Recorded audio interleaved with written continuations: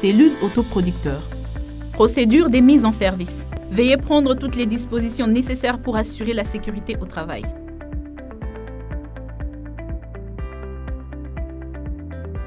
Fermez les couvercles du compartiment des connexions des câbles.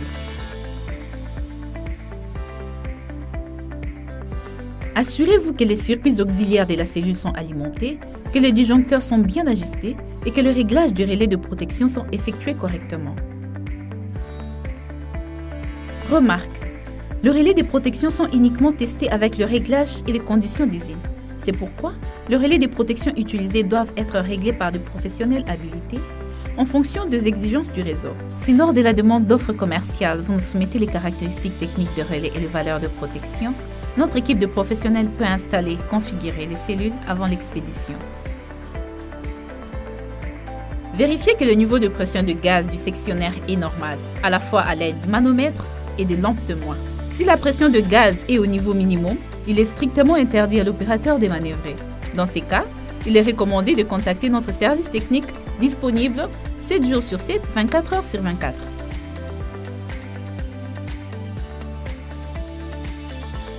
Ouvrez les sectionnaires de mise à la terre.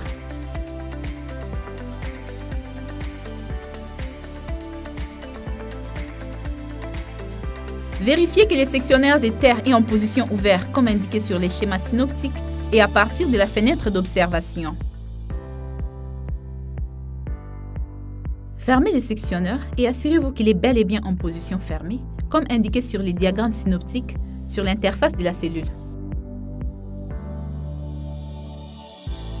Verrouillez les mécanismes du sectionneur en tournant la serrure mécanique dans les sens des aiguilles d'une montre et retirez la clé. Puis, utilisez la même clé avec la serrure sur les mécanismes du disjoncteur et tournez dans les sens inverses des aiguilles d'une montre pour déverrouiller la serrure. Vérifiez si le ressort du disjoncteur est chargé. Si le disjoncteur n'est pas motorisé, vous pouvez charger les ressorts par une opération manuelle. Si la cellule est équipée d'une alimentation auxiliaire et que les disjoncteurs sont en ligne, le moteur chargera automatiquement les ressorts.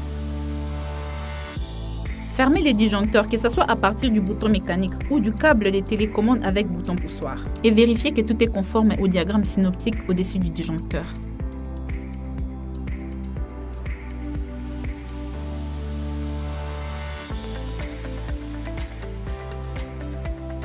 Vérifiez si la sortie de la cellule est sous tension à partir des indicateurs de présence de tension. Procédure des mises hors service. Veuillez prendre toutes les dispositions nécessaires pour assurer la sécurité au travail. Fermez le disjoncteur, que ce soit à l'aide du bouton mécanique situé au-dessus du mécanisme, le disjoncteur, ou du câble de télécommande avec bouton poussoir. Vérifiez que le disjoncteur est ouvert conformément au schéma synoptique. Si la pression de gaz est au niveau minimum, il est strictement interdit à l'opérateur de manœuvrer. Dans ces cas, il est recommandé de contacter notre service technique disponible 7 jours sur 7, 24 heures sur 24.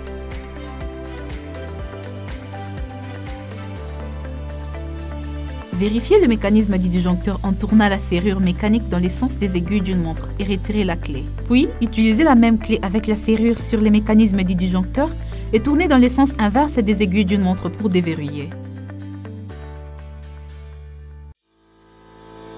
Vérifiez que le niveau de pression de gaz du disjoncteur est normal.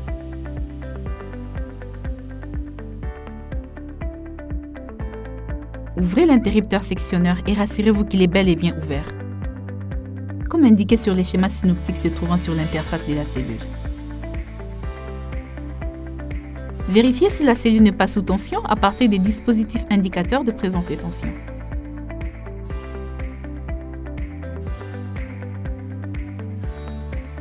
Fermez les sectionneurs des terres en appuyant le bouton de déverrouillage et en tournant les verrous dans les sens inverses des aiguilles d'une montre. Vérifiez que le sectionneur des terres est bel et bien fermé à partir du schéma synoptique et de la fenêtre d'observation. Si la cellule est utilisée comme arrivée du réseau, n'est pas fermer les sectionneurs des terres, sauf si vous coupez l'énergie de la sous-station précédente.